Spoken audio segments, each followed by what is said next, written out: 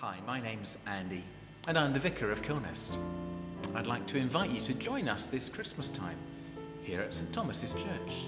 You'll find there's something for all ages and all the family.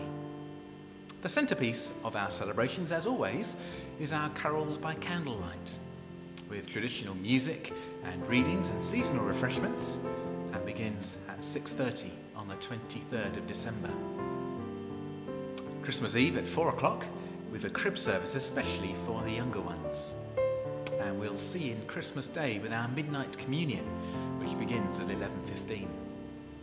Please pick up one of our invitation postcards or visit our website for more details. A very happy Christmas to you and your family from all of us here at St Thomas's Church. And whatever you're up to this Christmas time, I really hope you'll be able to join us with friends, with family, or just on your own. You'll be made most welcome